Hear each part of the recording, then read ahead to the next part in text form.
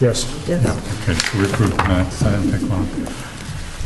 Um, We're gonna have one adjustment to the agenda we'll get to a little later about uh, stop signs. So, um, um, Zach and John, you wanna go first? If you'll have us, Richard. Gordon? Gordon. Yeah, Richardson. Yeah.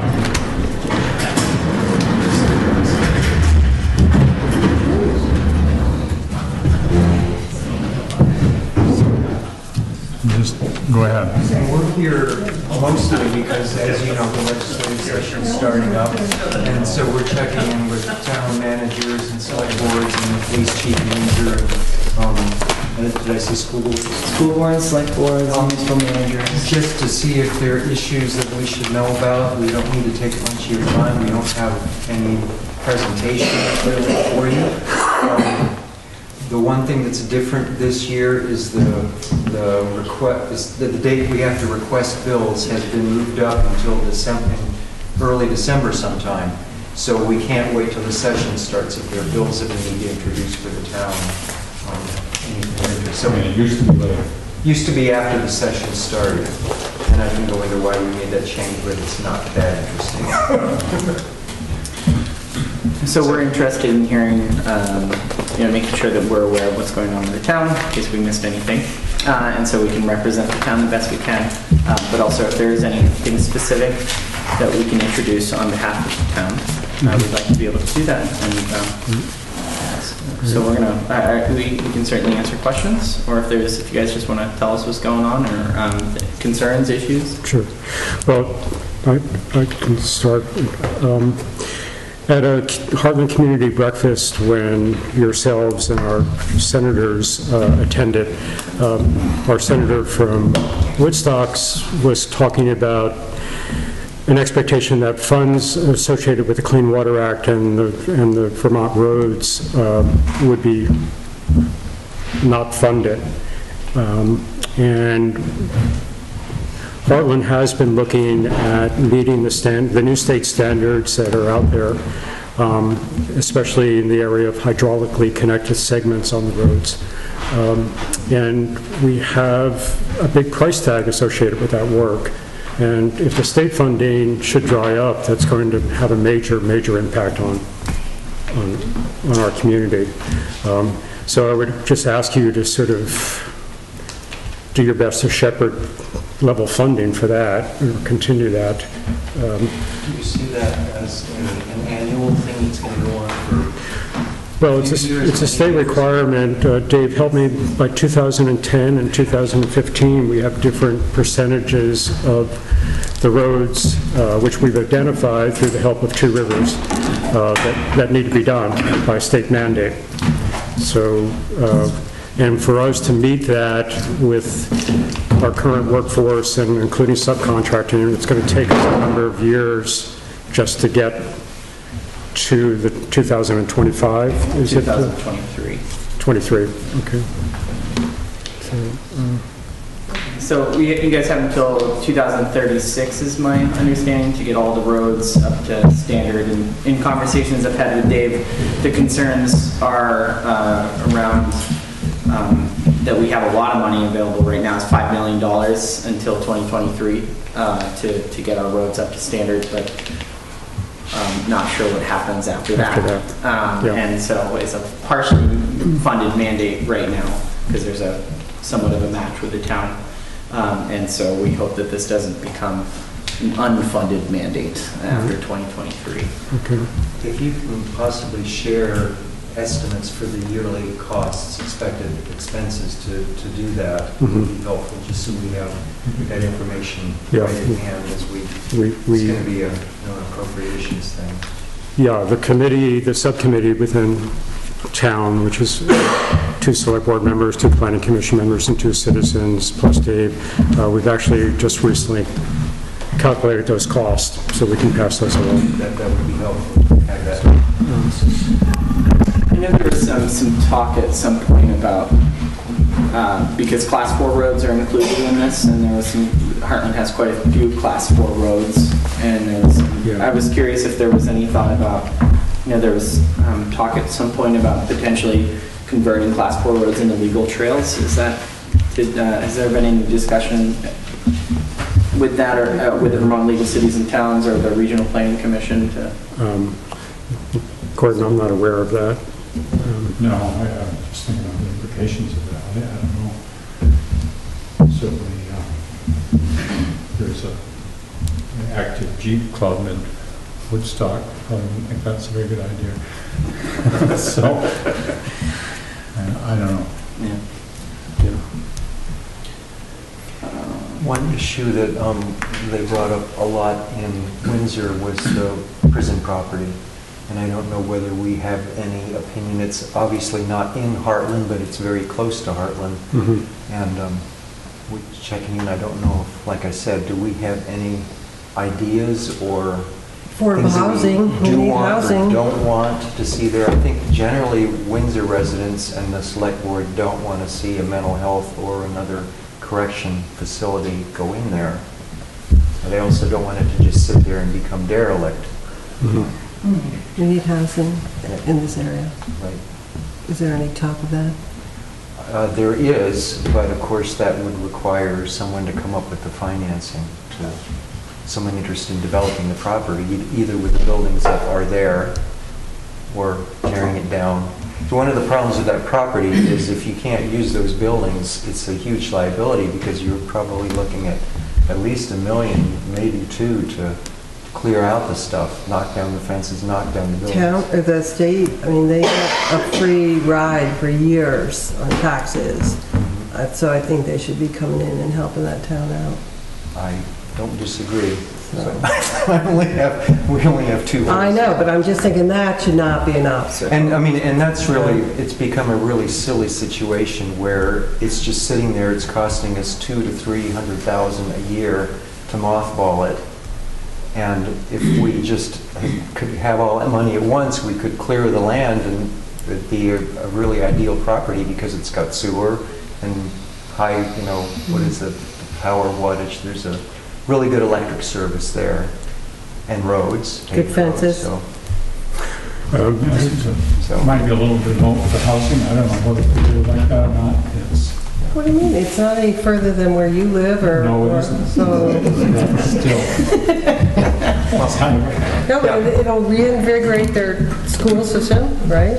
What do you, I think affordable housing, I mean, Windsor County in general needs housing. I mean, we, we barely have enough housing to fill the, our job needs. Um, And, uh, but I guess what I've heard uh, is that um, affordable housing, there's, it is, uh, you know, Hartland, we're used to rural living, but there, uh, if, if you're a low-income family and you don't have a car, there's no other resources to get into town or to be involved with the community, and that's a pretty important aspect. Okay, well, but- but if you don't want to do afford, or if that's not reasonable, how about just, uh, just housing?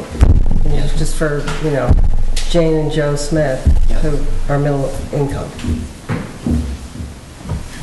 For Jane and Well, Jane, or Joe I, and Joe. I think that's a really. I don't wanna be good idea. exclusive. Mostly, I- we were, I was wondering whether the town had given any thought, because it is so close to Hartland, on things that we don't, definitely don't want to see, or if there are any brilliant ideas. And housing is a great one.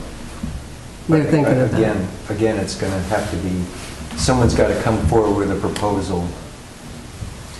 They did, and they asked, um, as far as I know, there are no proposals on the table. Where, uh, that the, um, well, John knows a little bit more about where the chair of the Prisons and Penitentiaries Committee is leaning, but there's, they're, I think they're keeping an open door to the possibility of more prison housing.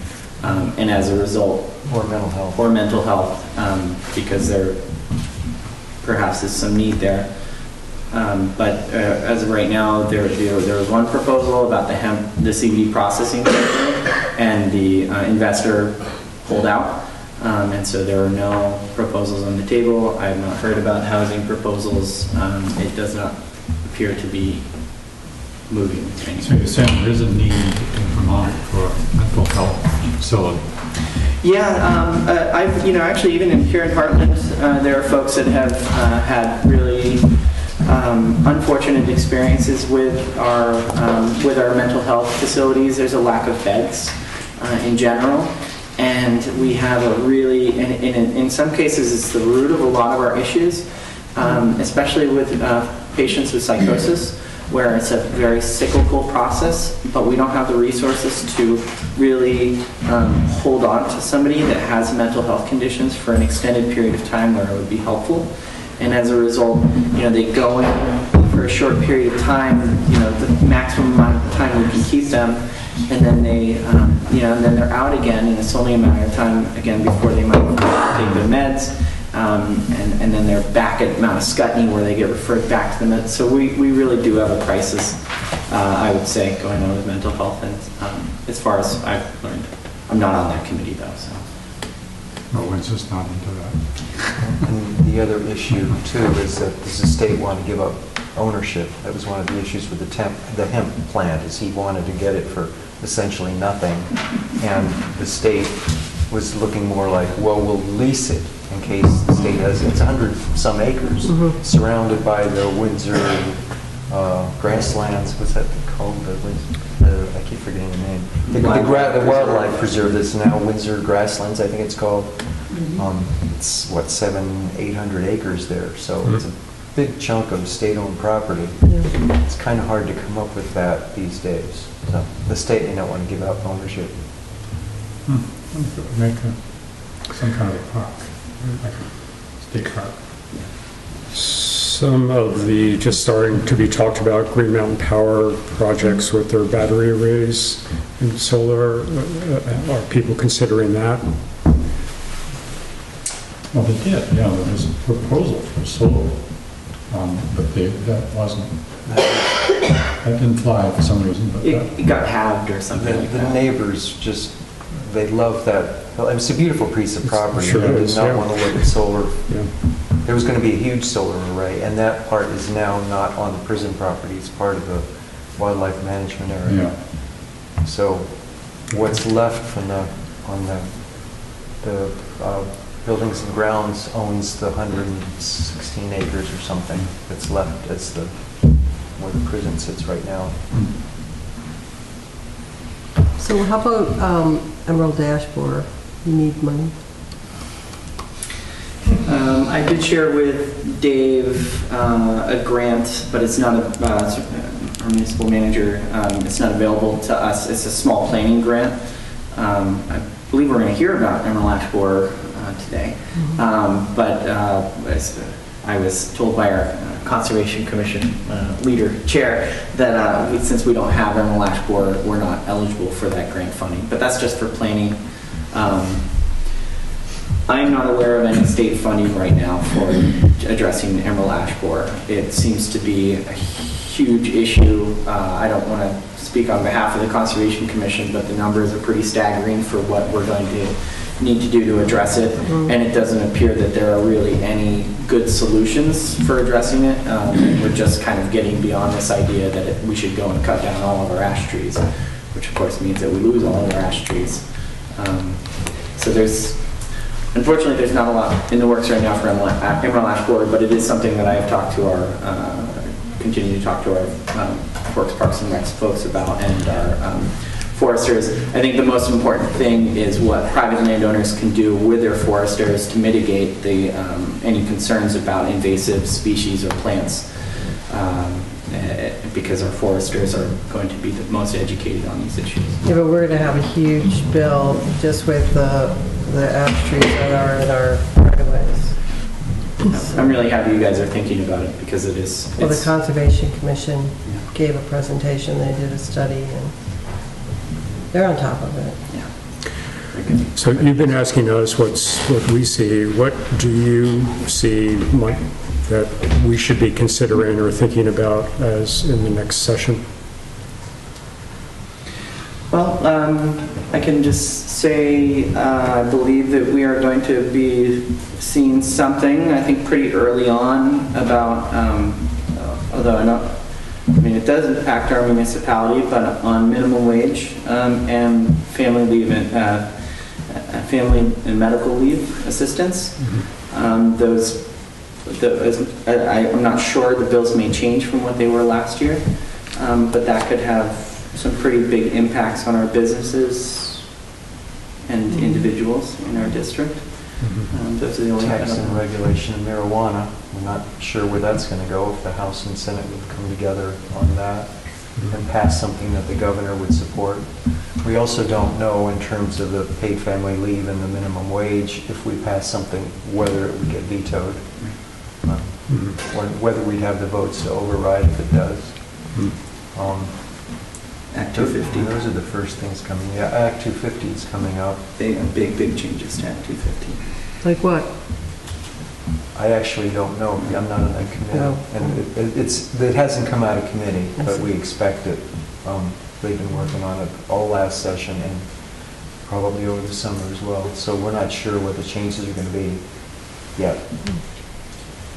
Um, I think the caucus, the the Democratic caucus is probably going to, is poised to do some more serious looking at climate issues this time around. And exactly what that will be, I'm not sure. The, the one thing um, I've heard a lot of enthusiasm for is to, you know, that the state has uh, uh, goals, climate, uh, carbon, carbon goals. And right now, there is no obligation to do anything, they're just goals. And so there, there might be a bill to make them requirements where if, if the state doesn't do it, someone could bring a suit against the state for failing to do that. But that's one bill that I know is going to come up, whether or not it passes, don't know. And that, and that could have implications for our our municipalities because, I um, was just going to bring that up, I'm sure you'll get an earful from VLCT, because they just love the unfunded mandates, but um, yeah, if the with, state just simply pushes it to the towns, that's just not a realistic alternative on behalf of the state. Uh, You know, they, they seem to have big ideas and have a lot of wants. It's got to be pushed more at the state level. It can't, they can't just be delegated to the towns. But At yeah, least I don't think it can. yeah, you're right. Well, because each town has a responsibility through the comprehensive energy plan, and right now our energy committee is dealing with our enhanced energy plan to, for solar and renewable energy siting. Um, but each town has to, is obligated to contribute towards those standards. So you're right, if we're, if we're making that a mandate and not providing funding, I think what the state needs to understand is, is the ability of some of these medium to smaller towns to actually, I mean, just come back to the road standards that you guys passed, you know, and then if you get into climate change or other things, you know, the resources that these towns have are from somewhat minimal. So I think that that gets lost in the, in the hallways of the uh, legislature at times. And and again, I'm going to come back to some of these grander ideas, which are good, but when it comes to implementation, I don't think that's always thought through, so that's just my, I know you'll hear more of that, but that's. Well, so what I'm hearing you say is, as we move forward, make sure that we look carefully at the obligations that the towns are going to have. And the ability for that to actually, to, to truly be successfully carried out, or whether it's just kind of a, more of a grander idea than it is Mhm. implementation-wise. Yeah.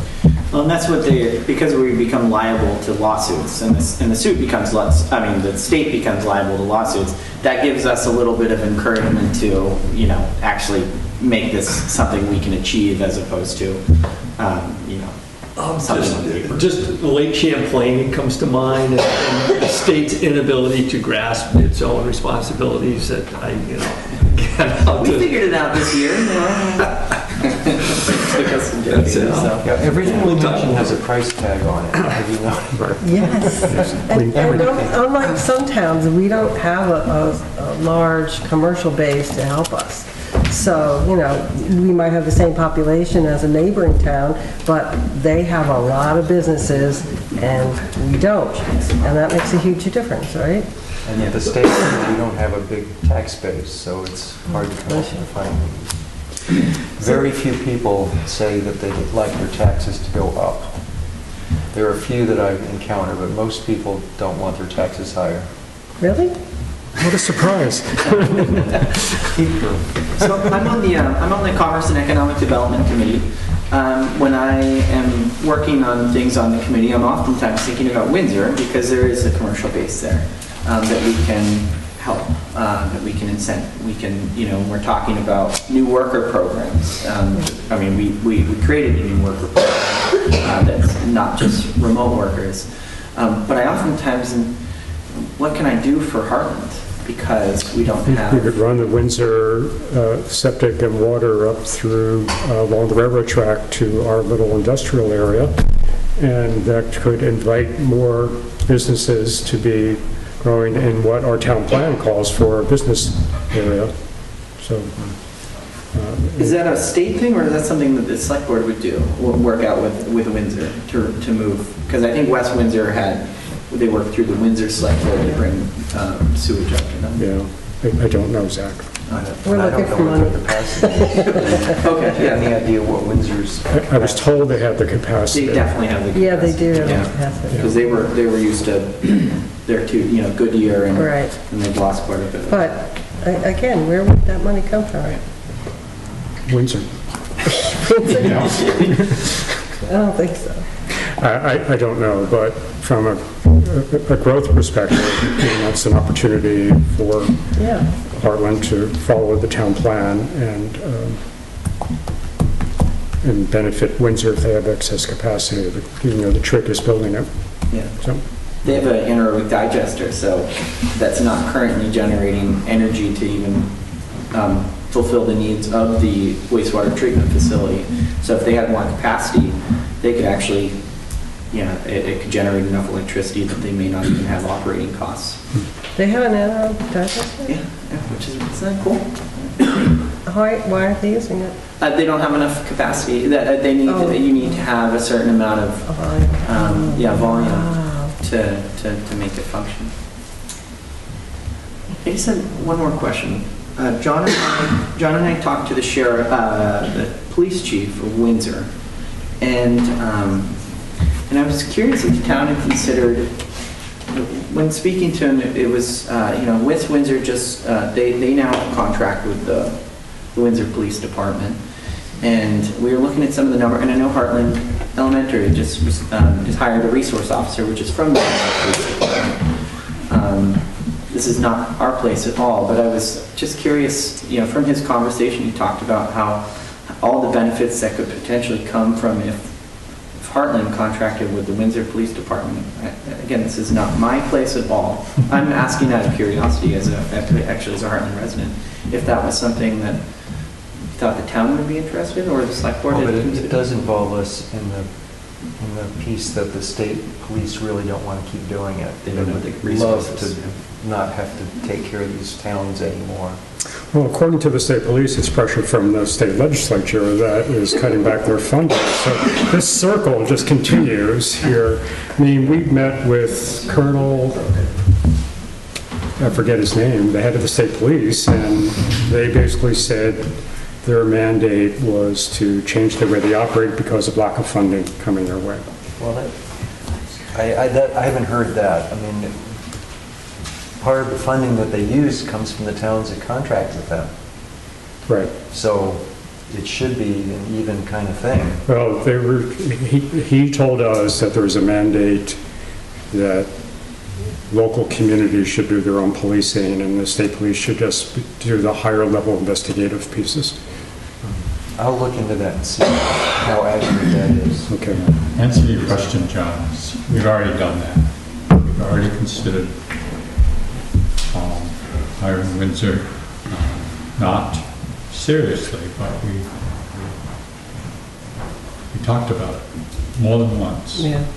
And uh, we have to remember that Windsor is trying to sell their services. I mean, obviously. Um, It's not, it's not too far-fetched. It's a possibility. We haven't, we never ruled it out. It's just, hasn't happened. And we're happy with the state police, so that's where we are.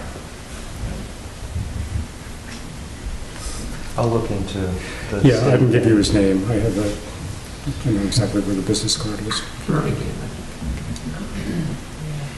Birmingham. Birmingham, yeah. It's actually from Windsor originally. Thank you. Thank Yeah, thank you so much. Well, thank you for Appreciate it. Like we said at the beginning, there's a bill deadline, so if, if you do get an something, idea yeah. of something that we could, that needs to be introduced to deal with some Yeah. specific problem, let us know soon. Money. Well, I'll get right on that. Thank you, guys. Okay. Thank you for the work you guys do too.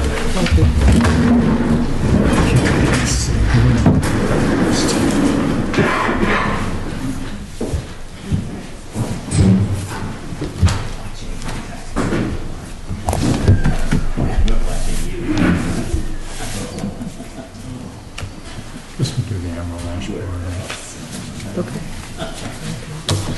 Okay, um, trying to figure where we should go next, but I think we'll go to the Conservation Commission and uh, talk about the Emerald Ash Borer. Okay. Um, So the last time I was here, we talked about the Emerald Ash Borer. There have been a couple of things that have happened since. Um, The Conservation Commission has developed a response plan, which basically outlines the things that we're going to be working on in regard to the borer. Um, And I circulated that to you guys, so you should have a copy of that. If there are any questions about that, I'm happy to address those. Uh, I also wanted to put up pass out some of these maps. This is where the border is in Vermont, um, which is significantly more than where it was the last time I talked to you. Um, And I think the most disturbing thing about this is if you compare the way the distribution is growing in Vermont to how it is growing in New Hampshire. In New Hampshire, about five or six years ago, it started out as a little dot around Concord. And since then, it's just grown a little bit larger each year from that dot. But in Vermont, we had it in February of 2018 was the first of these spots. And instead of growing out from that spot in a sort of a gradual, consistent manner, it just pops up all over the place, which I think tells us that this is people driving around with infested firewood and just um, rediscover it two years later, and it's already probably much more widespread even than this. So the most recent place it was discovered was in Londonderry. And if you go from, the little red dots on your map there are the places where they've had a confirmed sighting of the beetle or a tree that's infested. Uh, The yellow areas are a five-mile radius around that, that they call their high-risk area. That means the beetle is probably there already, and they just don't know it. But the nearest, um, if you look at the Londonderry Circle, that's about 25 miles from Hartland. So I would not, I think that the time frame for when it's going to get here is probably a lot quicker than we had hoped.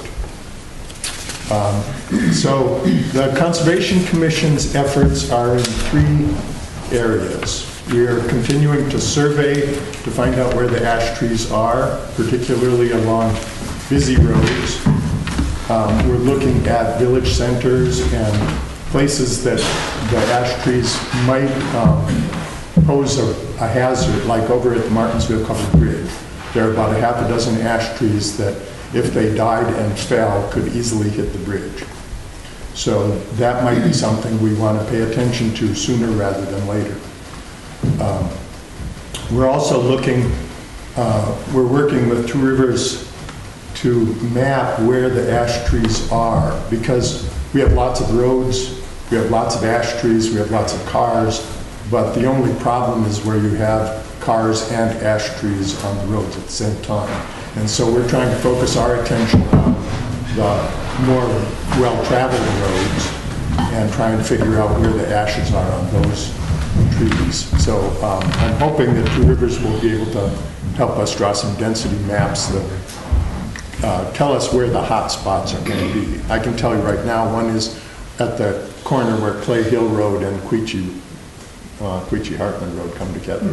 there's a ton. We counted in one survey something like 78 ash trees in a two-tenth mile stretch of that road. So I think that our original estimates, uh, when we did the survey before the last time I came and talked to you, I think those uh, estimates are probably low. At that point, we were guessing 45 ash trees a mile, and based on our more recent surveying, I would think it might be closer to 60 a mile. Um, So that's a problem. Uh, The other things we're doing are we're trying to educate people. Uh, We have on Thursday of this week, the county forester is coming here to Damon Hall, and she's going to do a presentation for landowners on emerald ash borer. Um, There was an earlier one, presentation here for municipal people that I think most of you were, were at. Um, So we're trying to, and our, our uh, Old Home Days booth, one of the big emphases there was trying to give people information about the borer. So we're doing what we can. Um, The other thing we're doing is just trying to monitor, uh, see if the trees are um, looking healthy or looking bad. Uh, When I sent out the listserv announcement about Hannah's talk, a couple of people got back to me and said, oh, on my 16 acres, every ash tree has emerald ash borer. And that's right here in town. Now, I, maybe they don't, maybe it's ash yellows or some other ash disease, but, you know, we need to check those things out and make sure. So, um, that's something else we're trying to work on, is just monitoring the health of the, the ash trees in town and see, um, that, uh, if there are borers, we find them sooner rather than later. And then the last thing is just to encourage you guys to think about a plan of your own for how to deal with the borer, because there are a couple of things. One, one I think we could do right away is to try and clear some of the backlog of dead trees that exist now, ash or not ash, um, because as these ashes die, we're going to have an increasing burden of dead trees, and if we can clear the ones that we have now out of the way that are, could potentially be hazards, that would be, that would help down the road. It would help spread the cost over a longer period of time. Um, The other thing we might want to look at is some preemptive cutting. The last time I was here, I said, oh, no, we never want to cut an ash tree that's not sick. But if you look at the Martinsville Bridge situation, we may not want to wait until the trees are dead and fall on the bridge before we decide to cut them. Um, And we'll try and let you know where we think there are trees that could be problematic, and you can make that decision on your own. But um, it probably will cost money. Taking down these trees is expensive, and our current tree budget, tree cutting budget is woefully inadequate even for the trees that we have now. So, that's the good news. Rob, do you see any change with uh, something which I'm, I'm not a fan of, but the commitment to using pesticides to save the trees that are healthy now? Um, Yeah, there, um, there are pesticide treatments that you can inject into the tree. Once you start it, you have to continue it for the life of the tree, and so there's an ongoing expense there. Um, It's something that if we had ash trees that were of great cultural, historical significance, we might want to think about, but I think for trees in general, it's just too expensive to, Yeah, I agree. to chase down that road. Yeah, you know, As I had mentioned to, to the- your group, um, I did discover that uh, some towns in New Jersey are saving the historically significant sites where ash trees are, you know, George Washington's planting something.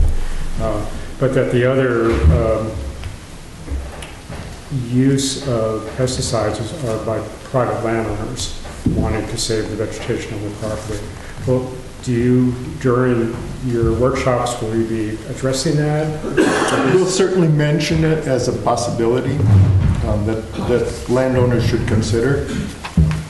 But if you're doing a wood lot, it's, you know, there's no way to do that. I agree. But if, if there's an ash tree that might fall on your house, that might be something worth thinking about doing to try and rescue it. I think you mentioned, though, that the success rate isn't great, It- It's not. even with that It's- pesticide. And and, uh, it's either because they're starting too late, or they're not keeping up the practice. Um, And, and some of the, uh, the professors at Rutgers University, which are in the thick of this, are still debating what the causes of it not working are. Well, Knox mentioned that there was a, uh, there's a possibility that there's a fungus that gets into the bug and can kill the beetles. Um, So there are some biological controls that are being explored. I think there's a wasp that they're looking at, but those are a ways off. I don't think that that's going to help us, actually. This is scary. A couple questions. Someone going, you you mentioned someone who's got, uh, all the ash trees are dying, and they think they've already got the, is someone going there to, Yes. to look at that? Yeah, I was going to talk to Hannah about that um, and see if she can go, or I mentioned to this guy that he might get in touch with Bill Stack or another Okay, forester. sure. Okay. And my other question is, have, do you know of, we have, we have about 75 miles of back roads, of course, that includes the, like the Quechee Road paved roads, but, um, how much of that roadway has Green Mountain Power Lines on it? Do you know that? I don't know that, and that's a good point. Green Mountain Power's plan for responding to the borer is that in all of those areas that are yellow on your map, either red or yellow, they're going to go in and preemptively cut every ash tree in the power line. Um, At least that was their plan a year ago. Now, if you look at how that map has expanded, I, you know, that's not going to happen easily. No. But um, as it comes, if- if- as soon as we get in one of those high-risk areas, I think that Green Mountain Power may come in and start cutting on their right-of-ways. But When they established a fund that they were trying, to they were going to either have an escrow account. It's on the electric bill already. Right. Yeah, I think that's right. Um, There was something else I was going to say about that, and I can't. Well, I'm just thinking it would Oh. lessen, lessen out the town's uh, responsibility for getting rid of the trees if. Yeah, when we, when we've been doing some surveying, we sometimes look at that, and, you know, that might take somewhere between a third and a half of the trees that we're talking about out of the picture. But if we've got, you know, 4,000 trees, 5,000 ash trees in the right-of-way, we're still talking about a big problem, even if uh, Green Mountain Power does take those out. Yeah, what is your, I I forget the estimate per tree that you have to take down? Take a tree down? Um, Yeah, so it depends on the size of the tree and how dead it is and a lot of stuff like that. Um, But because ash tends to be very brittle once it dies, it um, is fairly risky to take it down. The branches all start falling off on your head. Um, So the estimates that I've seen range from maybe $500 a tree up to $3,500 a tree. Well, we're gonna have to do better than that.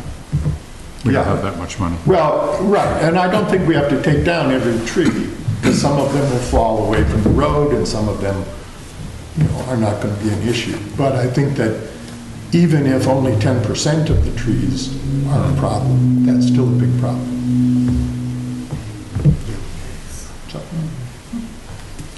Could we top them? No?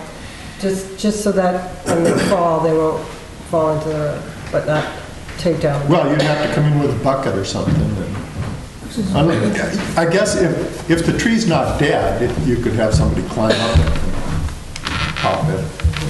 But once it's dead, that's too risky. You'd have to go in with a bucket to do it, I think. I'm thinking that when they, when we know that the beetle's in the tree, and the tree's still solid, it needs to be fallen. It it needs to be, It needs to be fallen away from the road. And that might be the only thing you do. But you need to at least do that step. Right. Just, uh, how long does it take to kill the tree? Two to five years from when it gets infected, infested to when it's Yeah. dead. It's, it's also hard to even know that it's infected for the Yeah. first three years. Oh, It's wow. quite likely you don't even know it. It's been Right. happening. It's true that they're attacking the top of the tree. Like every Often. Yeah, you can't see, the, okay. the little holes are sort of distinctly shaped where the larva comes out. But those are generally up at the top of the tree and you Very can't see them. Yeah, And so the only way you can tell the tree is dying is because the crown starts to die back. yeah. And that can be, you know, two years after it gets infested anyway. So by that time, it's too late to save the tree, but you might be able to knock it down. I was looking at a tree uh, yesterday in the churchyard in Four Corners. It's a box elder tree, base about this big. It's girdled by mice because there was a pile of leaves around it. It's about that much live wood. So it doesn't take much to keep a tree alive. In other words, if, if these uh, emerald ash borers have infested the tree, if there's some pathways for the sap to go in, it's gonna stay alive and look fairly good. So for quite a while, so it, it's just hard to see it until it's almost done.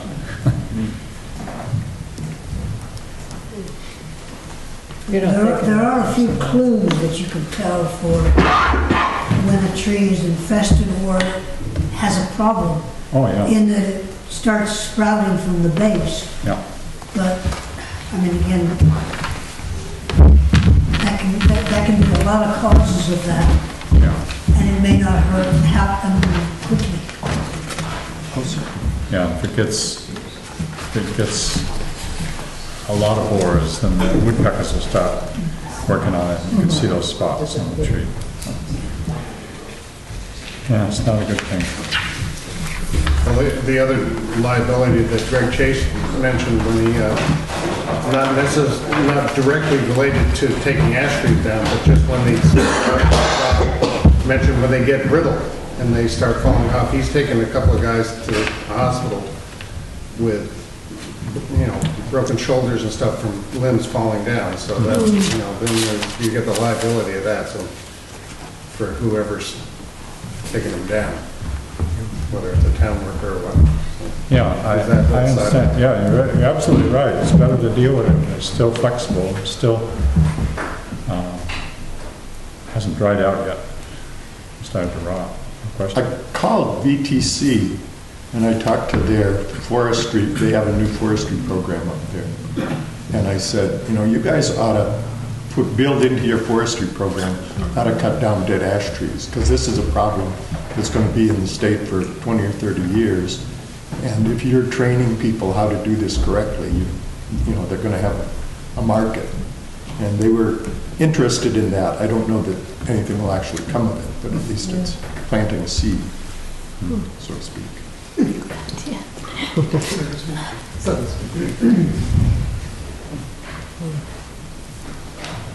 it's depressing. Ah, no, come on. Lighten up, Mary. I agree, it is depressing. Between the actual death of these beautiful trees and the cost to remove them, and And the last, Well, something we really should think about is, isn't there something we could do with the wood? I mean, we could probably provide wood for everybody in town that burns wood. You know, just give them free firewood to burn it up. If there was a way logistically that we could get the trees Yeah. to the place that they need to go and get them, you know, somebody would be willing to cut those up for I've certainly been watching the biomass project at Dartmouth and the timber company that's already in town. uh, They were set to provide the biomass for that plant.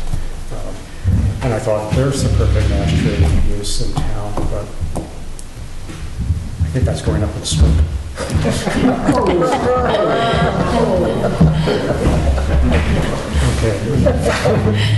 Okay. Maybe we should stop. It's around 6:30. Any other comments?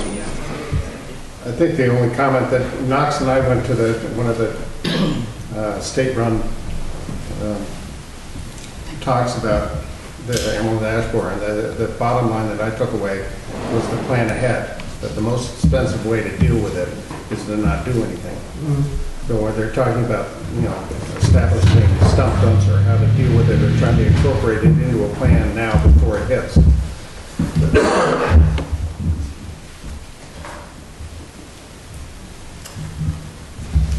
Okay. Thank you. Yeah, thanks for all your work. Sure. Really, really helpful.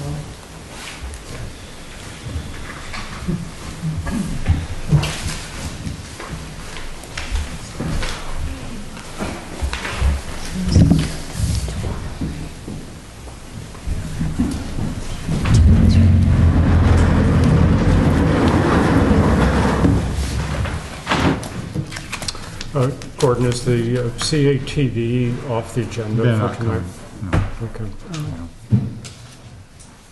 So.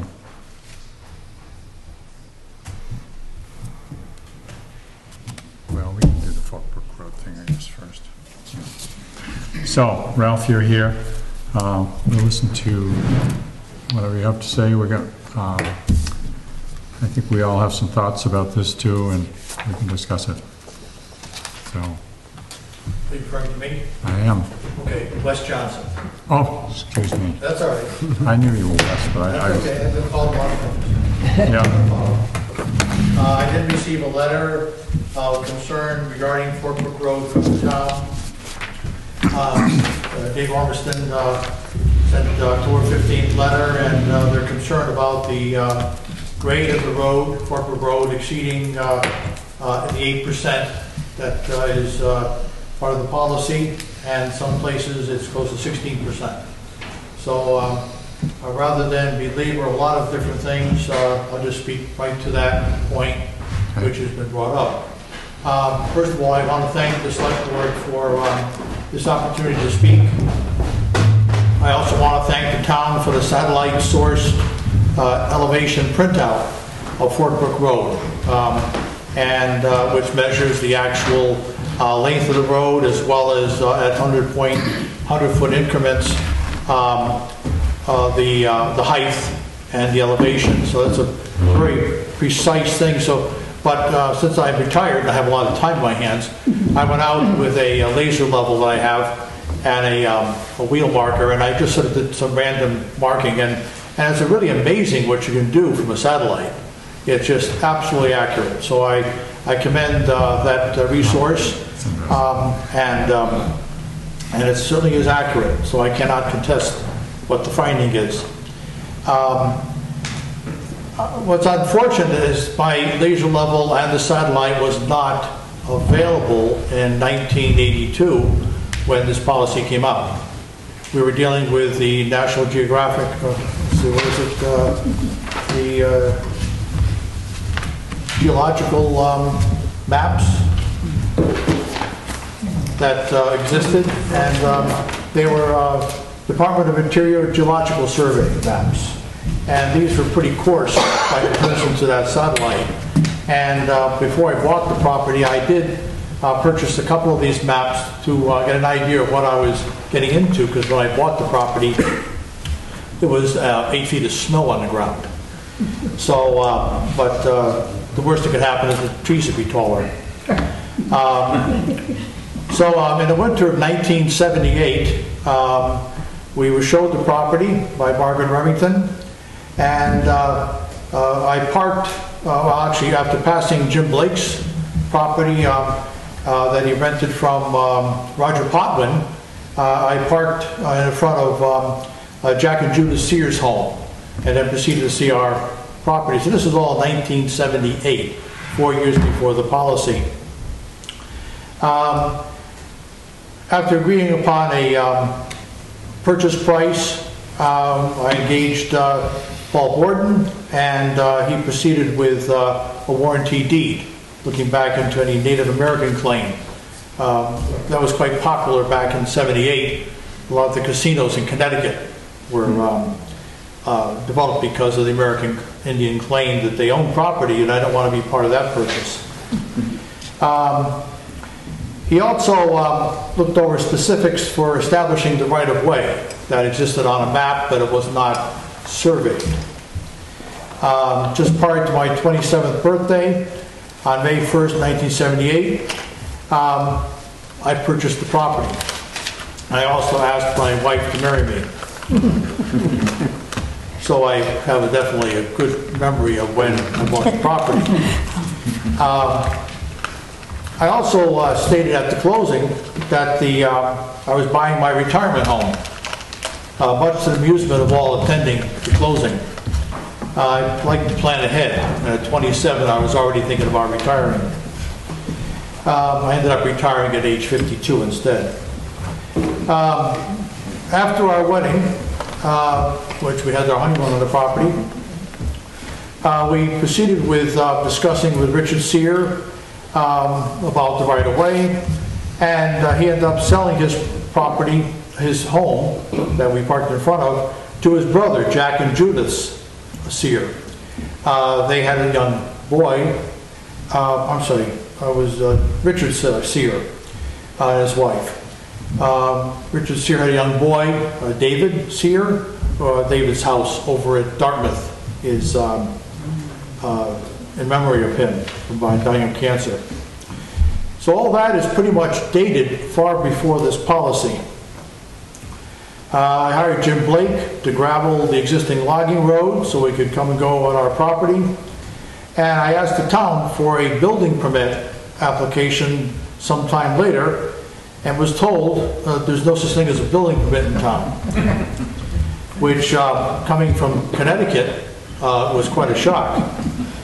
Um, However, I did need to get a certificate of occupancy uh, once my septic system was approved, which kind of confused me, uh, how can I live in that?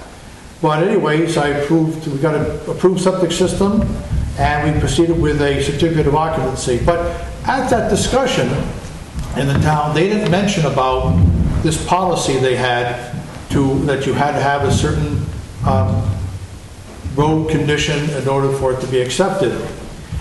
Um, But anyways, I asked, were there any restrictions, and none was forthcoming except for the septic tank requirement.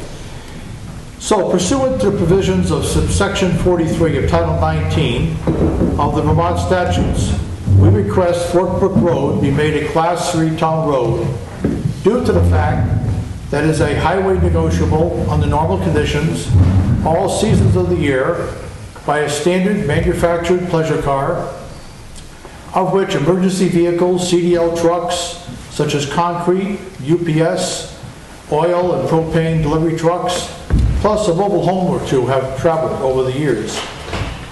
We ask the board to waive the requirement of culverts shall be of corrugated steel, concrete, or aluminum, and allow for plastic corrugated culverts of the design that the town presently uses. And finally, as of the elevation requirement, we ask the board to consider that enforcement of this provision would place an undue hardship on existing investments made prior to the Town of Hartland's Highway Ordinance and Culvert Policy enactment of 1982. We wish to be grandfathered prior to the requirements as to the fact existing prior to the policy. Creating a gradual winding road to elevate the inclination would impinge upon approved septic systems, Green Mountain Power underground power feed, private underground water supplies such as wells, as well as residents themselves. So in that, I close my comments and open for any questions. So can you repeat your last point there? I didn't catch it all. Your last sentence, Ricky? Oh, creating a winding road, so it- for instance, instead of going up steeply over a short And distance, who's going to create that? If if it was to If- become a town if the road. town required to to maintain the eight degrees, Yeah. the one solution would be to create a winding serpentine, like a switchback on a Right. trail type road. Okay. And with the existing homes prior to 1978 and property uh, that was purchased prior to 19, um, 1982, uh, that it would require uh, extensive uh, impingement on those existing structures and additional um, hardship for the residents there to, um, to move all those uh, things that would create a problem. Wes, we were going to have a, a site visit, and uh, I don't know if that was going to be today, I don't, I don't know if, you- was last month, and then it was post but we, postponed. but we, uh, having seen the, uh, you know, got the information that you mentioned tonight, uh, we decided that we would at least postpone that, so we we didn't do that. And uh, we have, uh, I mean, there's a, there's a number of things that you pro, your road probably doesn't, besides the grade, culverts have to be a certain diameter. Um, is it 18 inches? 15 to 18. 15 to 18? Yeah. So maybe if there were 15, they would be big enough. Uh, we require a certain width of the road, uh, which you probably don't meet. Uh, we also require, uh, ditches, um, and we require a certain base on the road, depth of base. Um, We've been installing, uh, we've done about a mile, is it, of stone line ditches, or is it Just this year. this year? So that, that also would be a requirement, because that road is is so steep, um, that we would have to have, you, would- you, would- that's something we- you would have to do before we would take it on, would be stone line ditches. But This, it's not just the grade, there's a number of things that, that, where you're not meeting the standards. Well, I can appreciate um, the need for that. Uh, This past storm we've had, um, I'm sure there are many town roads that were badly eroded. Uh, We can go up there now, and you can see Fort Brook Road has not had any maintenance done because none was needed. There was no erosion with this heavy rain we had just the other day. Um, As far as digging up the road and to prove what the base is, uh, over the past 41 years that I've been there, uh, I've put in several thousand dollars to uh, maintain it and to improve it, uh, and to have have other people be able to travel over it. Um, As far as the size of the culverts, uh, I I thought I read it was 10 inches, but I could be wrong. Uh, My grandchildren tell me I'm wrong quite often. Um, But um, with, with all of that, um, certainly if we can reach a compromise on where the town has allowed in the um, uh, policy, um, uh, in cases of unusual hardship or unique circumstances, the select board may modify these specifications. And I appreciate also, however, any modification shall be the minimum change necessary. So if a site visit was helpful to determine what the town would require uh, for the residents of Fort Brook Road to, to meet a um, compromise, uh, I can present it to everybody there and see what they can do. Um, Well, um, the grade is really a serious problem, and, you know, a reasonable compromise would be if you had a section of the road that was ten percent, when we asked for eight, that would be a reasonable compromise, but having several sections that are sixteen percent is, I don't know, I don't see how we can make that into a reasonable compromise. Um, we- Now, how about the culverts? Uh, It stated firmly that the culverts have to be aluminum or galvanized, No, I don't. and, but, Wes, can I interrupt for just a second? Certainly, absolutely. So the second part of this is the state standards that the town has adopted. And the state standards, in order for the town to take on any kind of a new road, it also needs to live up to the state standards as well. which also clarifies a 15 to an 18-inch culvert, um, which can also be plastic. So you also need to live up to the state standards as well as the town standards here. The two are somewhat married, uh, and the town has signed that and has adopted that, so that's a part of it as well. Okay, I, then, then listening to, see if I'm understanding properly, that the um, town is going to require us to put in concrete or galvanized culverts? Did I just say that? I, I'm sorry. No. I don't think I just said that. So what I said was, is that the town has adopted state bridge and road standards, okay? And as a part of adopting those road and bridge standards, it outlines, so the town cannot take on a new road unless it lives up to those standards as well. Mm-hmm. And in that, it outlines it needs to be 15 to 18 inch culverts and plastic, or it can be plastic. So you're not just bound by a 12-inch steel culvert, you're also bound by the town, by the state road and bridge standards, of which I can get into as well, um, if you like. Dave, you might explain to the, about the FEMA, FEMA thing. I mean, we have to, if we don't, we don't live up to the standards, then when we have an event and the road washes out, you can't apply to FEMA for aid if we have been negligent in, in taking care of the road. So we have to, we have to, whenever we do something to a road or take on a road is, is a thing, we have to do it right or else we're at the creek. So, so every road since 1982 that the town has taken on as a town road, This is then not- that has met these standards. That is not true. We have, we have uh, taken, I know of two particular roads that we took on uh, within the last uh, 15 years that do not meet the standard that we, that we're talking about here. There's a steep road on, off, that goes off Rice Road that has a steep section on it. It's not, it's not a long section, but it's considerably more than 8% grade. And then there's a road off uh, Mount Hunger Road, which we took on, which has also got um, a section that's greater than 8%. We consider those errors in our judgment. And We don't want to do it again. Wes, in addition to the culverts, the state also have very specific outlines for the ditches that are involved. And when you get to the grade that we're talking about here, it's, it's very elaborate. So it's not just the culverts. Sure.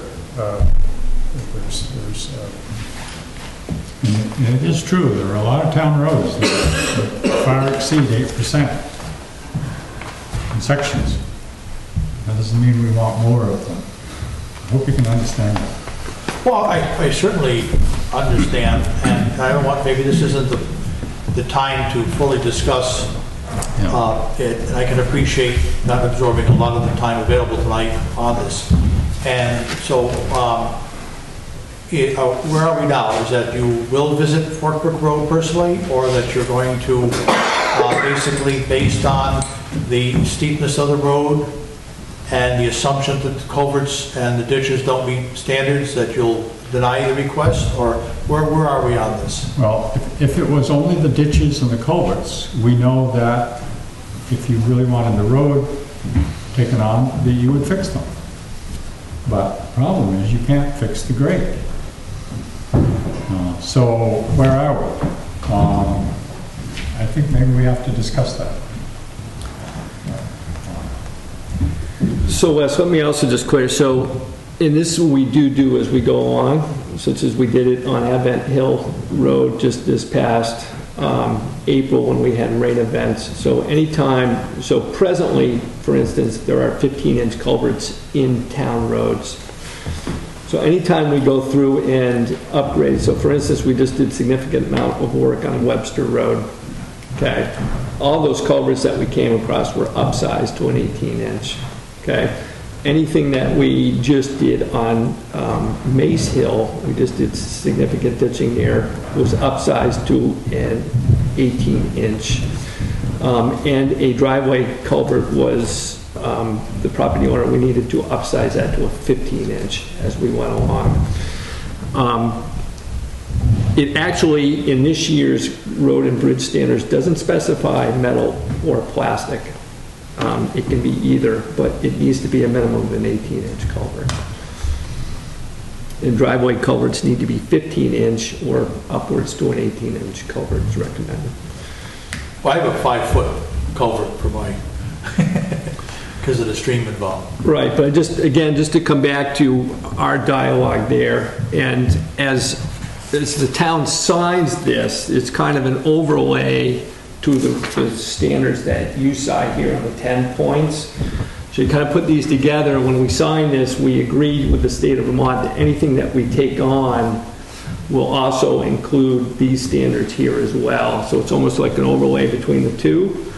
Um, Ours does talk about drainage and ditching and all that stuff, but as Phil and and Gordon pointed out, the state standards get very much more specific and talk about seven-inch stone on an 18, on an 8% um, incline or or something to that extent, which does come into play here as well. But um, Well, I, I- would it be possible for guidance from the town that uh, if if Fort Brook Road's request is uh, rejected, then could a shopping list come up with the town for us to um, achieve in order for being compliance? So I need to go back to the uh, uh, people, we got uh, two people on, um, well, actually, three people on oxygen right now. One, uh, couple people with cancer, one person just died. So I'm trying to get back to these people so that we have some kind of dialogue. Uh, They're not able to attend tonight. And um, it would be certainly uh, helpful for, for them to be able to digest really where we, where we need to be. I, I can provide a lot of the skill and labor with my machinery to achieve some of this, uh, and it would be their expense to provide the materials. So uh, if we have a shopping list to, uh, to achieve what the town expects of us, and if we need to uh, grade the road by cutting into ledge and blasting and stuff, that should be included in the cost too.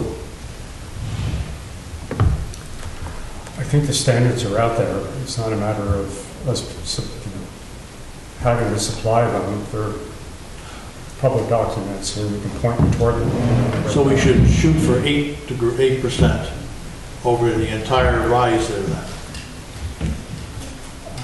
Because you mentioned about ten percent. So this is why I, if, if a site visit was held by the town and say, look at, uh, this is what we need from you, uh, besides just referring back to a somewhat flexible standards here from uh, history, uh, that, you know, it would be very helpful for me to, uh, to start a dialogue with the, the- uh, the residents there. The site visit is, and this is for the board and for Wes, the site visit is um, a formal move forward and kind of notification to the town that you're taking on this road. Uh, And it's a chance for someone, like a neighbor or somebody else to speak against that. Um, The language in your policy or ordinance is that they are to, that the conditions, um, it's agreed upon that the conditions have been met. And once that they have been met, then a site visit then occurs. Um, In my understanding of this, there was feedback from the board that based upon a 16% slope, which is double the 8% slope, that clearly it did not meet the standards um, of, of the, of the policy. And that, that alone was somewhat of a, you know, signal that, um, you know, that this doesn't meet and that there was therefore, at that point, it was a clear feedback from the board that based upon the 16% slope that that clearly didn't meet and therefore a site visit was was unnecessary based upon that. I think, you know. I, I agree. We talk about that. Yeah, sure.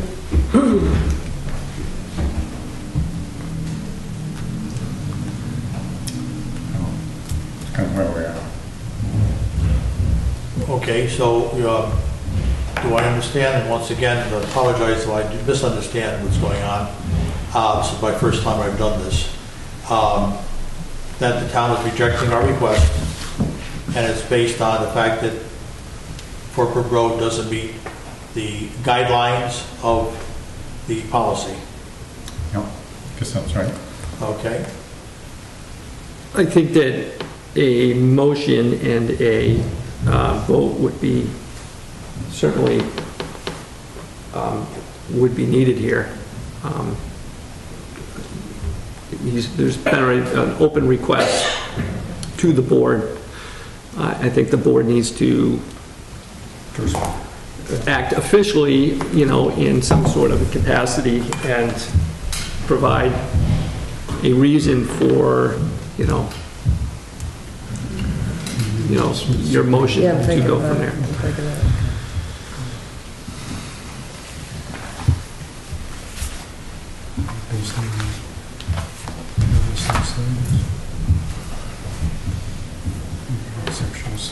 Okay, so, all right. so I make the motion that the board uh, reject Mr. Johnson's uh, application to have Fork Brook Road taken over as a town road based on its Failure. failure, thank you, failure to meet uh, state and town road guidelines, Does that work?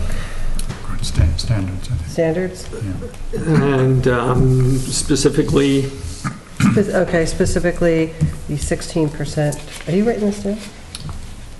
yes and and no. I'm trying to guide you on your motion, Okay, and I'll okay, hit you well- up on specifics. Ah, afterwards. Okay, specifically the 16% grade in parts of the road.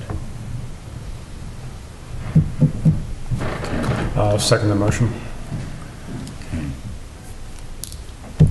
other thoughts, further discussion? Okay. All in favor? Right. I guess that's that. Thank you for your time and your consideration.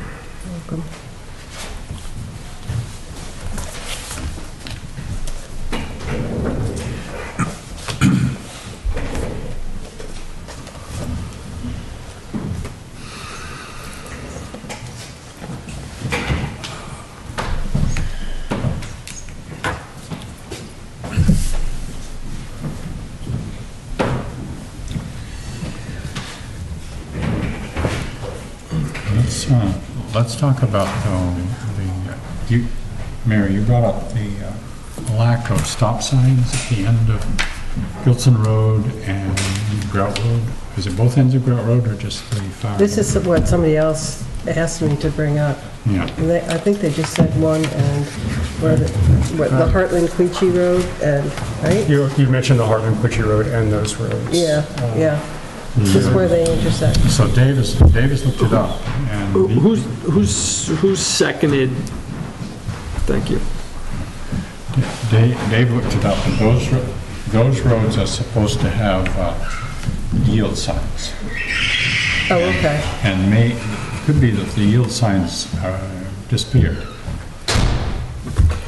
I, I um, just actually rode my bike the other day after that Mary brought that, and um, Grout has, does not have a sign or a post on either, Either end, either end. okay. So, um, Is that, is that right? Grout's supposed to have? So a sign? Grout does not have, uh, due to the ordinance that you've had in effect since for a while, and it's been revised five times or so, um, does not have one, uh, a stop or a yield at Grout and Clay Hill. Uh, Grout and Quechee has a yield, Is it Supposed to have a yield. Oh, and um, I thought, I've been looking at the stop sign, but Gilson and Quechee are supposed to have a yield. I can't remember, this. does Gilson fork out in a Y as it reads? It does, yes. So Does that mean and one two part of the Y is pretty hairy. Does that, would would that mean it needs two, two signs, or, or isn't that? is it that much of a thing? I don't know how it's. Um, I spoke to Bill about this. Apparently the one, I mean, they both can have yields, um, probably should. I believe that just the one veering to the right towards Quechee has had a sign in the past.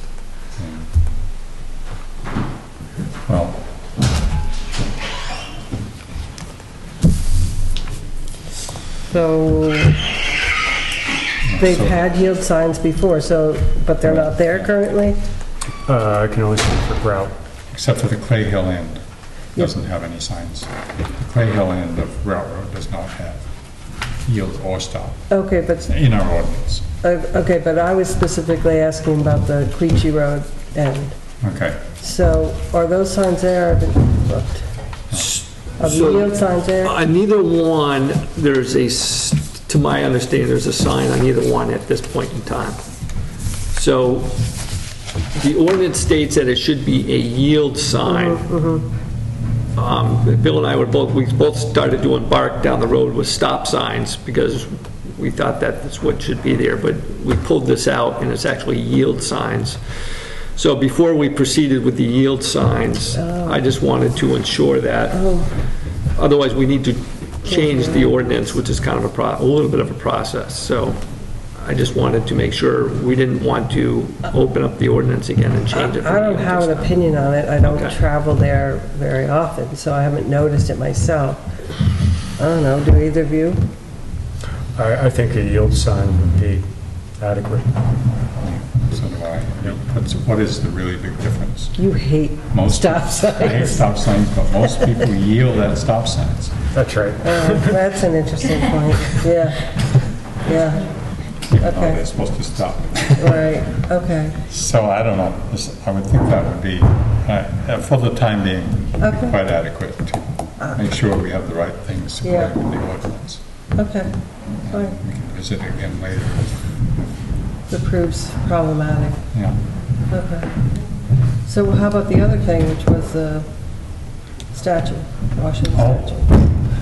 Now we can, I don't have an opinion on that. It's, That was up to you guys. it's pretty dark. I, I I didn't go up to look at it very closely, but I do have experience, and it's tricky business to wash soft stone like that. Well, yeah, but if you don't address it, the damage can occur. So, yes, yes, yes, yes. Does somebody volunteer to? There was somebody who volunteered who, and I've got his name at my office at a meeting, yes. Yeah, Are they volunteering to do it for, um, He's a professional, though. does he want to get paid? Well, if he's volunteering, no. Okay. I mean, What if- inherent in the word volunteer I- is yeah, no Yeah. pay, Yeah, Uh, I, I in would my mind. like to see the, uh, what's the official term for looking at the products they're going to use, uh, you know, to make sure that we're aware of what they're Yeah, planning yeah, to use yeah. to do that cleaning. Yeah, okay. But is it, is a consensus that a, we could focus on that and get it done? have any problem. Okay. I, I just, again, I would want to make sure this person's credentials are, this is not the Agreed. first statute they Uh, cleaned of Agreed, this type. yes, yes, because they could do more damage, Yes. yeah, then, yeah. What are they cleaning? The, right here, the statute, Oh, statue. Okay, Yeah. thank you. You did Did we a even- toothbrush, right? Did you have a name? I'm sorry. Did you have a name? yeah, but I can't remember it. So it's just you're discussing a vol, just a volunteer to clean the Well, statue? I I mean, actually, I would rather pay a professional. I think this guy is a professional who lives in town and volunteered, but, you know, Yeah, so I would certainly pursue that. Find Okay. out what his credentials are. all right. Good way to go. Did I just volunteer to do that? I guess so. Uh, Well, the Board of Civil Authority meetings are over, so I got lots of free time. Just what I do. Okay.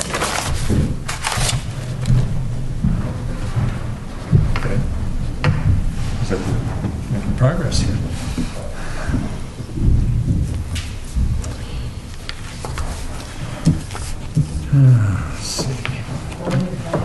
Certainly.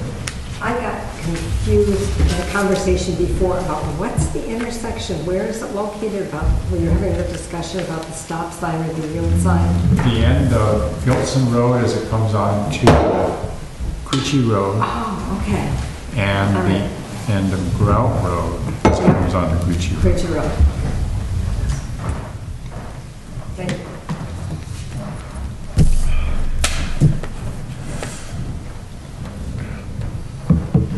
Okay, so we got something to sign for the intent on the Quechee, on the Three Corners intersection. So you don't actually need to sign it. Oh. Uh, What I need is a motion to Okay. readopt. Okay, because Clyde signed it, But right? Um, Clyde signed it before. I've seen it. David, it has an amount in it. And are we comfortable with that amount? Because we don't know if the, if a bond's going to happen and, or something with the burning of the utilities is going to happen. So I spoke to the lawyer about this. I am, uh, even though if the utilities were involved, you're talking about a million dollar project, uh, it's my understanding that by, with the amount, in this case it's 450,000, wa- was, when we were talking about this is just the intersection project. Uh, In my mind, is okay. I mean, you can, we can readopt it in the amount of a million dollars if we'd like.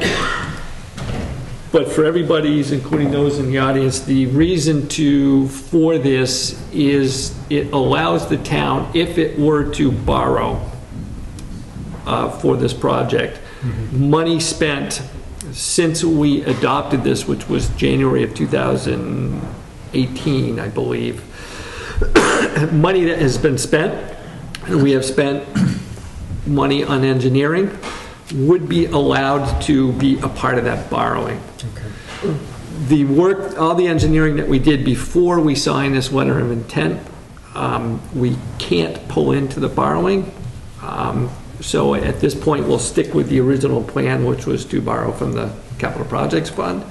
But if we had done it, you know, two years earlier, we could have pulled, you know, we could have pulled that into the borrowing and, um, As I, as I read it, there was something about three-year time limit. What does that mean? Uh, There is a time limit, but we are, uh, by readopt, my understanding is by readopting this, um, we're essentially kicking it. We're, we're, we're, Starting over. um, yes. And he seemed to think that um, we didn't need to sign a whole new one, that we could, we could make the motion and readopt. Um,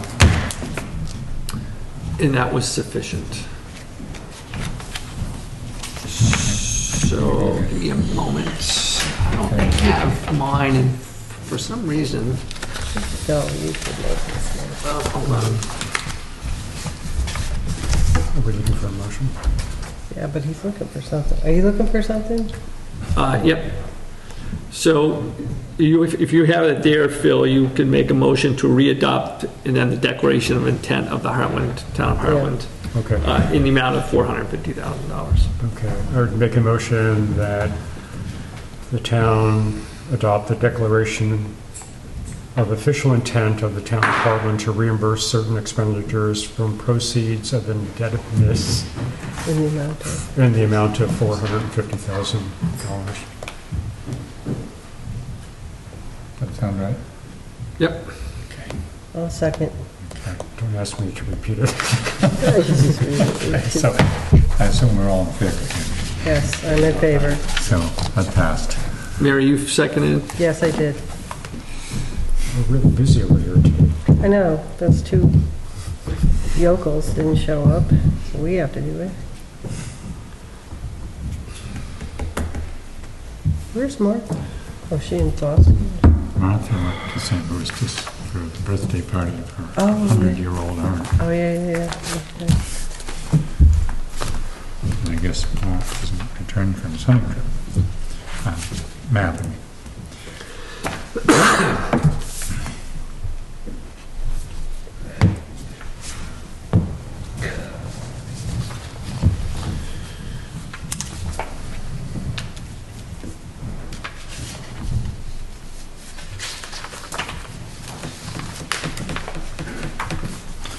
I mean. Well, down to minutes, I mean, uh, notes, manager's notes. Uh, So a couple big things on this. Uh, It's kind of light in text, but some good, um, some big things to update you on, discuss. So I met with the folks at the Sumner Mansion, and they are open to the idea of uh, alternative two, which is to push the um, telephone pole towards the mansion, and then the north-south utilities, um, those going from Hartford to Windsor, stay on that pole and continue as they are, and the east-west, for lack of a better term, anything going towards this way would get buried. Um, There was a question due to the fact of the uh, pole getting pushed and some uh, trees potentially being removed as to how open they would be, and they, they seem pretty open to it. Um, I think that um, in discussions with him and loud motorcycles racing past and et cetera, I think he would, sounds kind of excited at the four-way stop there, so. um, And it being a green spot. So um, he's interested in both, but uh, if it were to be a Plan B, we do need to mitigate, uh, he and particularly his wife are partial to two trees on that property, and we would need to work around that. I think that's possible, so, um, in discussions with the engineering. So we will, uh, we had kind of held off on some of the detailed drawings on Plan B there, so they will push that forward, and we will proceed with that. Do we know where those are coming up exactly? We do, right? uh, where the, where they'll come up. So if, um, if it's Plan B, it'll come up over here uh, at 11 Route 12, and we would probably need to work with them and gain an easement for that. Uh, Otherwise, if they don't agree, we would need to push it back towards the bank um, and come up at that pole there. Uh, And if it was the complete burial, same thing is true, but it would come up, there's a pole that goes from this pole here, the big one, out towards the library driveway. Yep. It would come up towards the library driveway. Those are the only two places it would come up? Well, if I thought there was one up here. Plan A, and they all come out of the ground by the library pole, there may be too many coming out of the ground, they may have to go to two poles. They will have to have two poles by the library. Yeah. Yeah. And, but also out here, no? Um, Yep.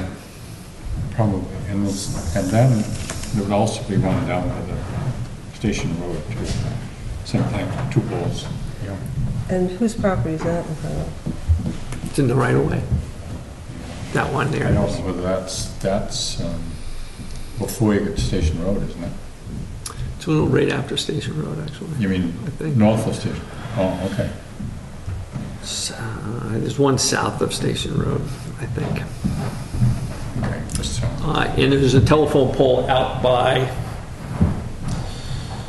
Mr. White's, but uh, there is a telephone pole out by um, Garthwaite here um, that um, we would, that's existing there already, that we would tinker around with.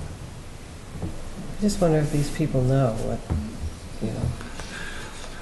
So if there is a vote for- on this project to move forward, then we would, just like in the existing intersection project, we would then approach the, vo- you know, the, the property owners. Um, It is fairly time-consuming to do that, so I don't think I will take the step unless this is a go, uh, and put the people kind of through that.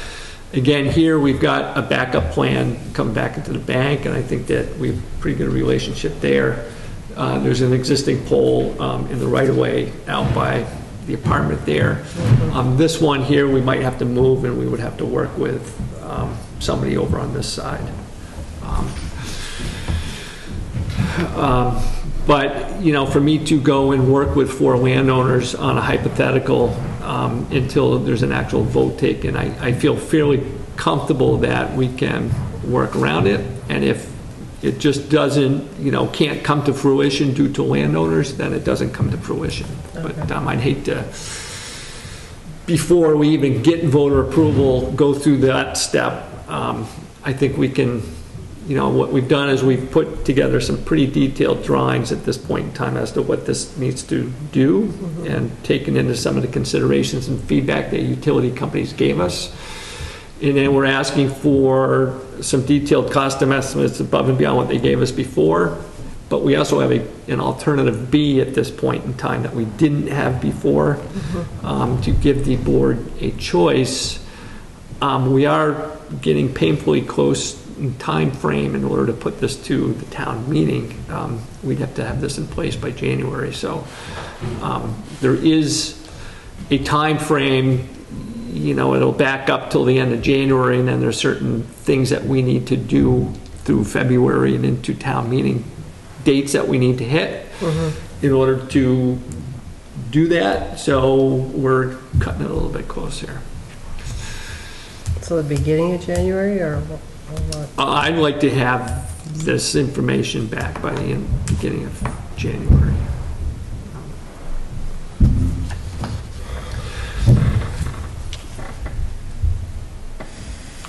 Oh, well, that's good news.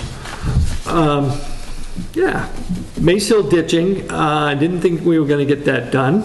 Uh, We are done with that, got done. Um, uh, Came out quite well. Um, Just something to discuss, Phil, you had brought this up, I think it's gonna warrant further discussion down the road. Um, You had talked about maybe a culvert there coming down from the cemetery.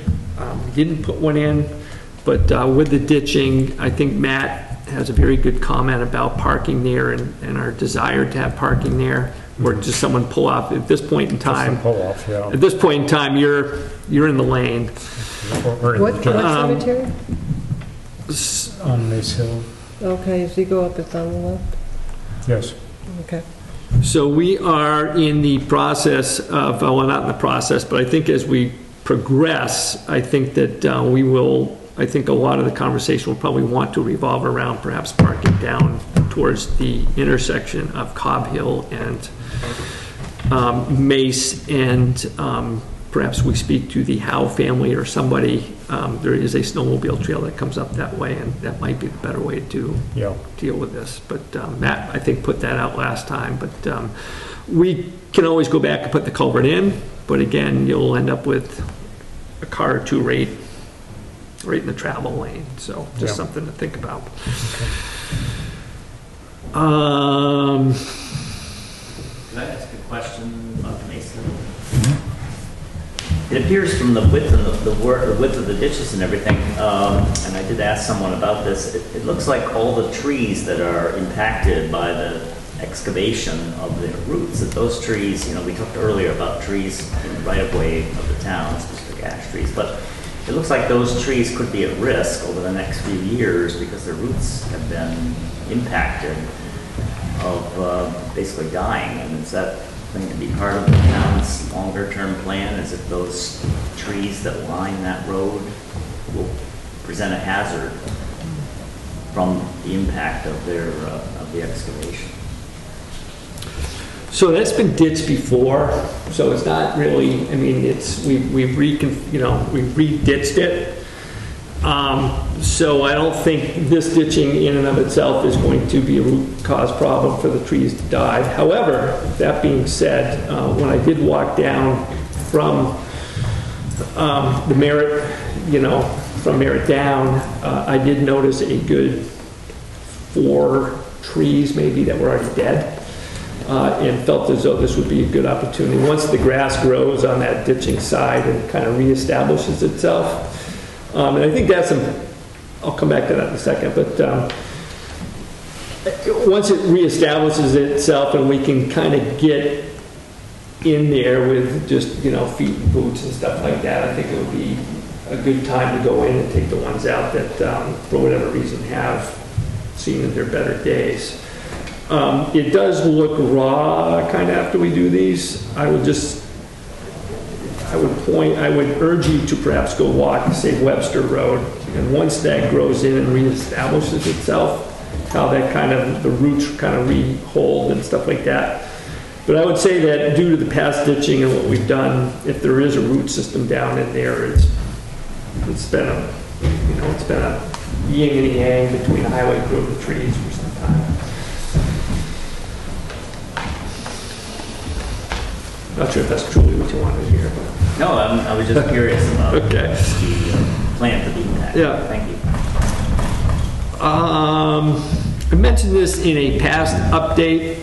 Uh, Hickok and Boardman had approached us on workers' comp and property liability, and et cetera. I do expect to see um, some sort of a proposal for them. Uh, And I would probably envision that being the first part of December at some point in time. that, It's an uh, something. alternative to the leagues. It is, it is. Yeah. So I only, I'll just throw two thoughts. One, they, she is saying they can save us some decent money, so I think it is worth our while to consider this um, in a serious manner. I think that, um, you know, again, it'll be interesting to see. The caveat that I will throw out there is that the one reason VLCT does offer this insurance is that throughout the 80s, municipalities couldn't get it. And from a private sector, this has kind of ebbed and flowed as to availability and rates, and right now, the private sector seems to be very interested in it. So it is very, you know, advantageous from the private sector at this point in time. The caveat is, is that, you know, if everybody jumps on this bandwagon and five years from now, the private sector goes the other way again, then, now everybody, the whole reason why we banded together to do this in the first place kind of, so we can get into that, and we'll hear from VLCT as well, but certainly I think that um, It uh, behooves us to do our due diligence and certainly listen to this and and look at the numbers and and certainly take it into consideration. Um, Again, um, it could be significant, so I think it's, um, um, we will pass that along and we'll have some discussion on it. Does VLCT self-insure themselves with the pool of all the town's money, or do they use another carrier that's behind the scenes? I believe, my understanding is, is that VLCT is a true self-insured pool, um, and that they, we have actuaries, et cetera. Uh, There's a board made up of select board members, town managers, uh, a board of seven to 10 people that um, kind of make policy decisions on behalf of VLCT uh, regarding this. Um, And it is VLCT members, for instance, Wayne Mazur that came uh, and talked about workers' compensation policies. Uh, When we had the water leak over at the rec center last winter, the winter before, uh, he came out and, you know, looked at it and followed up from an insurance point of view. So VLCT is the, uh, you know, essentially the manager of that pool, and the the town's, it's essentially a municipal pool, self-insured. Again, it dates back to the 80s when we couldn't get it, so. Are you, are you sure that we are able to leave them if we wanted to? We are. Uh, There is a formal policy, and they have been notified that we are listening to Hickok and Boardman. So you need to notify them before November 1st that, um, you know, you are considering that. Uh, And I believe that's for actuarial purposes, so that they can figure out what would happen if we were to leave. But uh, we are um, but again, take this any way you want, take it and listen, mull it over for next year, mull it over, you know, thank you very much. Um, But again, I think that um, if it presents the savings that we're talking about, I think it's at least something that you certainly should consider from a point of view, all points of view. It's like car insurance. I mean, you can get cheap car insurance, but is it any good?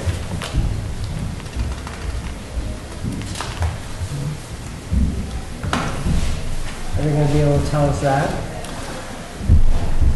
What I can say at the moment is Hickok and Boardman has a very good reputation, and they'll pull from, they will actually pull from a pool of, um, you know, actual insurers that you've heard of. Um, They are essentially an agent. They will marry you with, you know, the best, you know, um, insurance company that they, you know, um, sell for, uh, and they'll kind of look after that. But I can say that Hickok and Boardman has a good reputation. Other towns have decided to go with Hickok and Boardman. Um, So it is a consideration. Again, I would just put on the flip side, private insurance has ebbed and flowed over the years, and VLCT has been a consistent.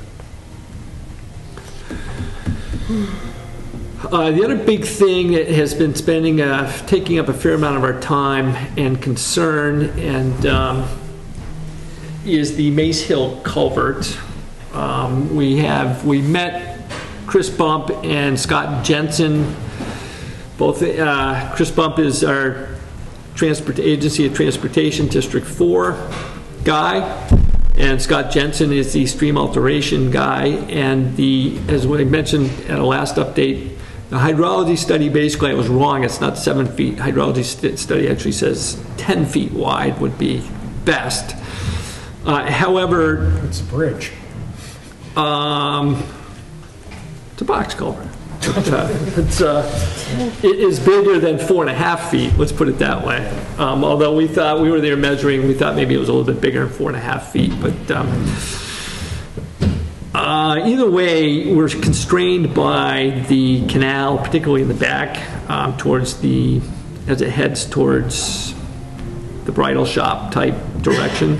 Um, and on the inflow as well. So that is, we're, we're in the middle, we're putting together an RFP for this, and we're working on the wording that is going to kind of let the designer know that we need this to be as big as possible, although it's probably, we probably won't get the size that the hydrology study is asking for, but as big as possible based upon the constraints of the, essentially the canal, the waterway.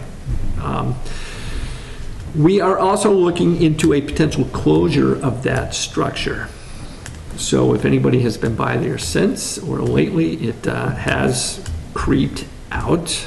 Um, It is, the stone structure below is, um, there have been stones dislodged, the concrete is substandard, and um, there is a- about a foot of gravel road underneath the three feet of pavement. Um, And on one particular side, that gravel road has kind of eroded out. As that erodes out the side, the pavement kind of falls and it just kind of falls into the stream side. So um, we have, or we are, we either did today or are going to very shortly put some barricades out, which will kind of make that lane a little smaller than it is now. So it truly would be a one-lane bridge or a one-lane culvert. However, we feel as though if we're going to close this culvert before Thanksgiving would be optimal rather than trying to put signs up or put a detour route together in February. Um, And, um, you know, we've seen, uh, I'll call it erosion for lack of a better term, on that roadway in the six months that this has been closed as it is. So we suspect that by the time March rolls around, which is another six months, we'll see more. Um, And we would rather have a controlled closing rather than a, okay, now what do we do? Um, So the option would be Bowers Road? Yep. So Cobb Hill would be affected, uh, the two row houses right there on the Cobb Hill side of that culvert would be, they'd be like, okay, I can, I can see, I can touch the other side, but I can't get there. Um, How- Would that, would, if that happened, would that uh, accelerate the repair timing? No? No, we actually can't get in there until July 15th anyway, Um, but it needs to be designed. And then um, by the time they get done with the design, we'll have to turn around, put it out to bid um, for a contractor. But, but it is conceivable that it could be done next summer. Uh, We would hope to try and get that done by next summer. Well, you get on with it. I mean, it would have to be done next summer. It Couldn't be closed another whole season, could it? It would be, so we would like to try and get it done by the summer.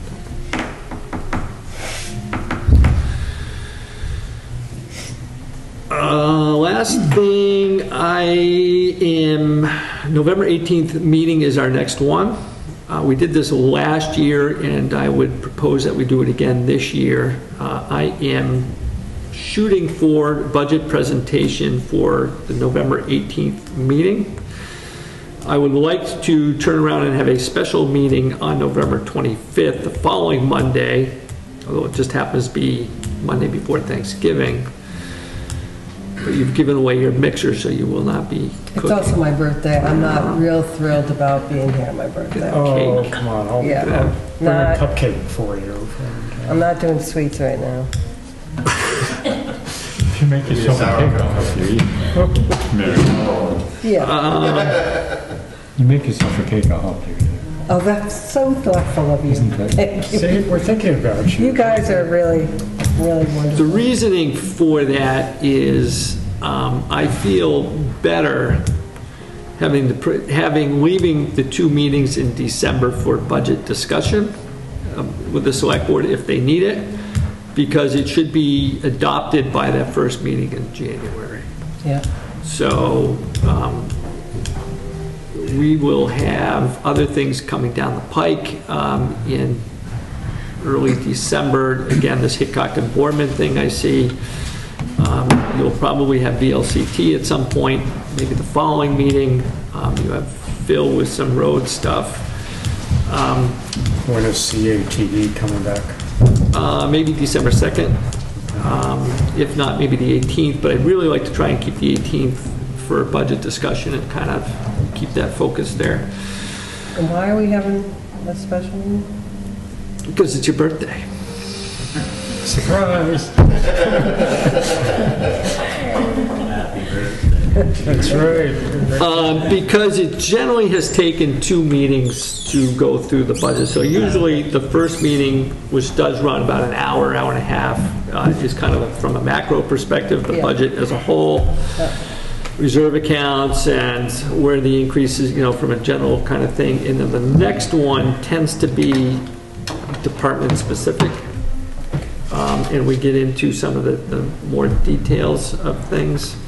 Um, I mean, if you want to, and we go through it, and we can talk about it all on the 18th, and we can go to your house on the 8th, uh, the 25th, and so be it. I should never have said that. And we'll make sure everyone in town comes. to that. Yeah. You'll be able to serve, don't worry.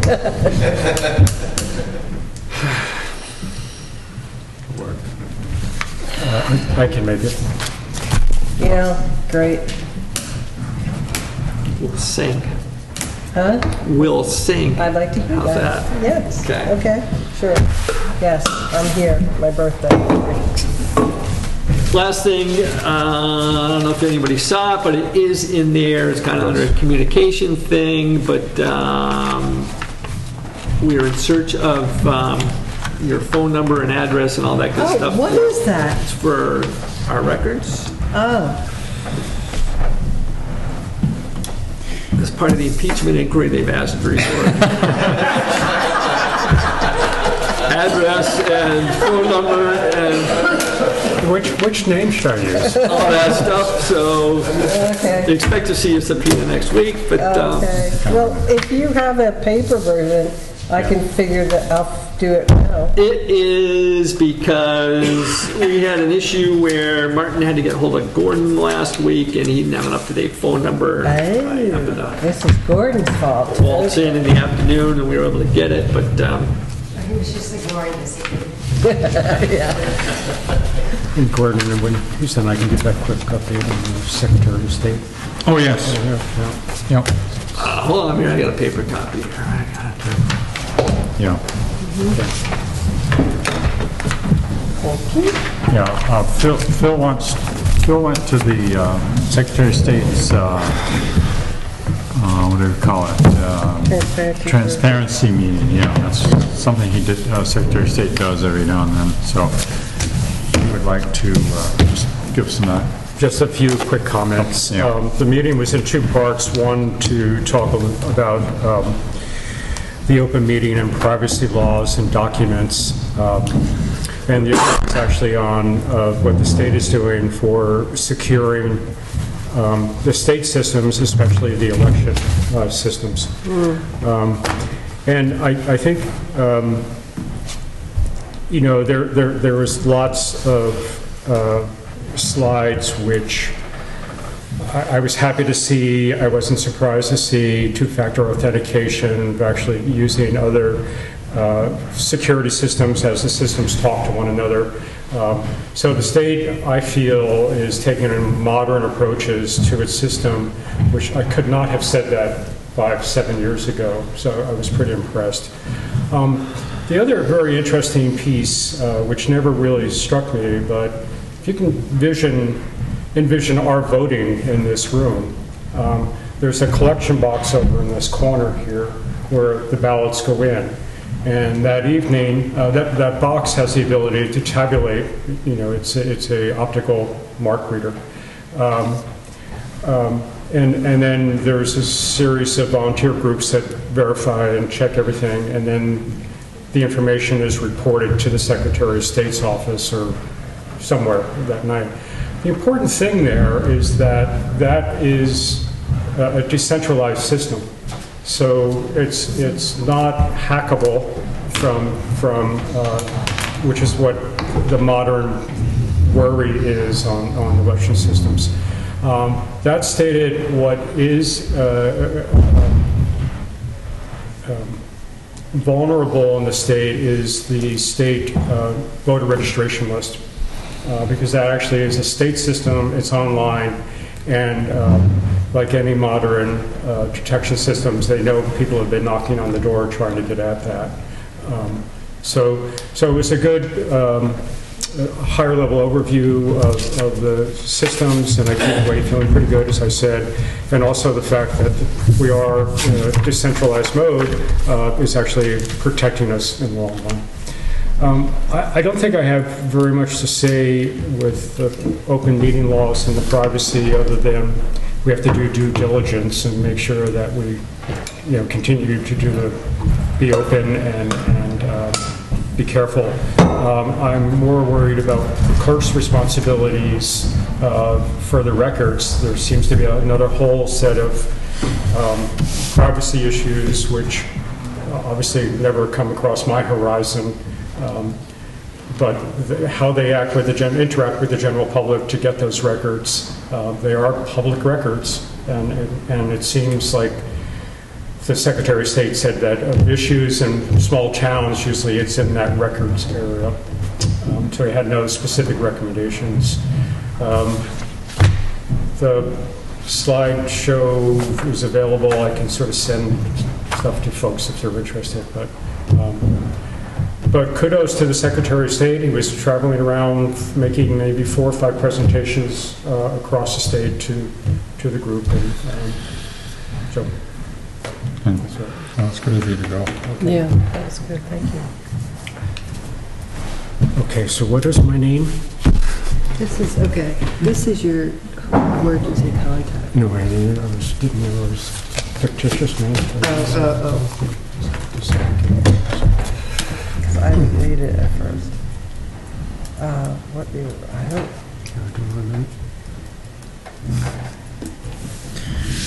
Anything else? No?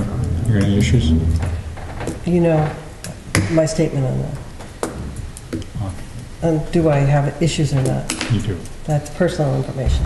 Thanks, then. He asks me that all the time. Do I have issues? Well, yeah, everyone does. Would you like to say more? Not tonight, maybe on my birthday, town issues. I'm glad that you said it that way, okay. Now you're on record.